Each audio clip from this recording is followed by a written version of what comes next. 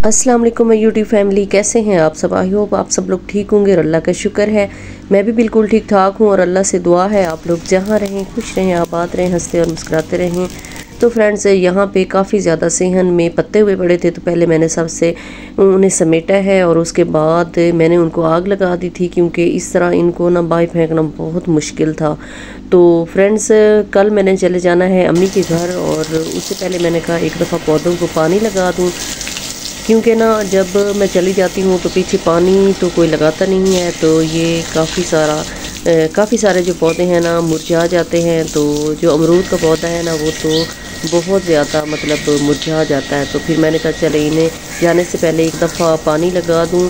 तो फ्रेंड्स, आजकल मैं काफ़ी ज़्यादा मसरूफ़ हूँ और ये पहले का ब्लॉग है जो मैं आप लोगों के साथ शेयर कर रही हूँ, और मैं अम्मी के घर आ गई हूँ, और यहाँ पे इतनी ज़्यादा मसरूफियत है। ये मेरे पास जो पहले के ब्लॉग्स बने हुए थे मतलब एक दो दिन पहले के तो मैंने कहा, चलें, ये मैं आप लोगों के साथ शेयर कर देती हूँ तो दूसरे भी फिर बाद में शेयर कर दूँगी क्योंकि घर में काफ़ी ज़्यादा मेहमान हैं और शोर शराबा है तो मैं आप लोगों के साथ ना वीडियोस जो है ना, वो प्रॉपर शेयर नहीं कर पा रही। और फ्रेंड्स काफ़ी ज़्यादा परेशानी हो गई थी मुझे तो।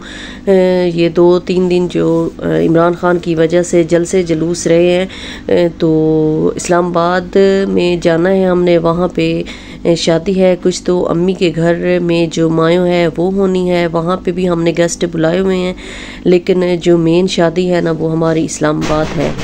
और फ्रेंड्स, सारे ही जो इवेंट्स हैं ना, मैं कैप्चर कर रही हूँ। मैंने कहा, चलें, शुरुआत जो है ना वो मैं घर से ही कर लेती हूँ। तो ये मेरा अब आखिरी व्लॉग होगा घर पे। क्योंकि इसके बाद फिर मैंने अम्मी के घर चले जाना है और यहाँ पे हम लोग आए हुए थे दर्जी के पास कपड़े उठाने। तो कपड़े हमारे स्टिच हो चुके थे। अब टाइम बिल्कुल ख़त्म हो चुका था। बस एक दिन था। कल मैंने चले जाना था।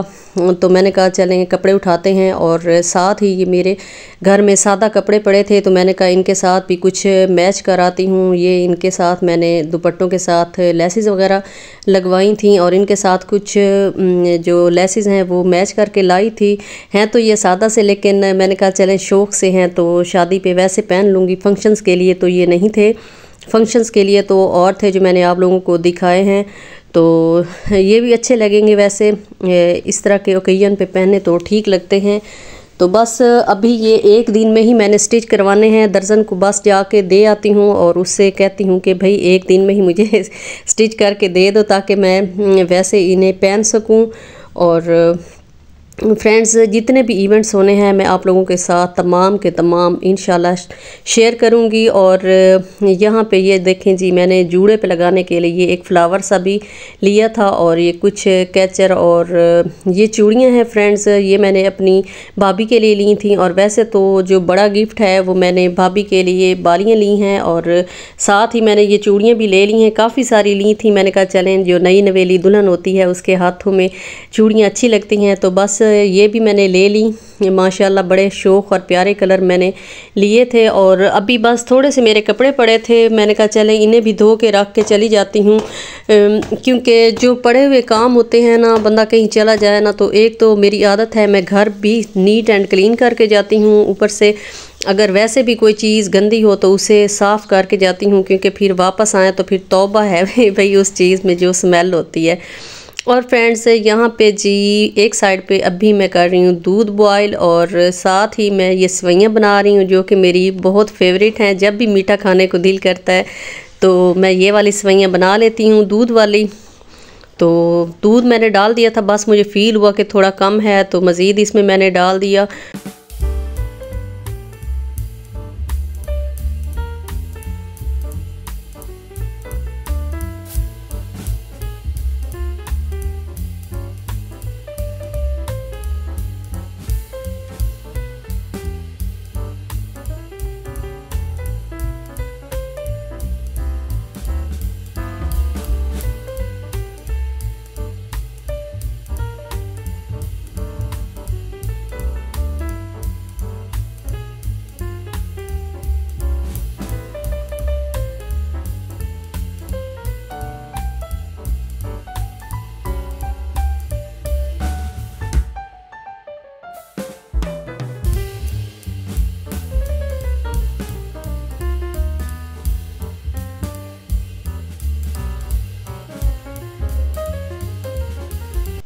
तो फ्रेंड्स यहाँ पे फ़िश का मज़ेदार सा सालन रेडी हो चुका है और ये है जी हमारा रात का खाना और अभी मैं बना रही हूँ रोटी।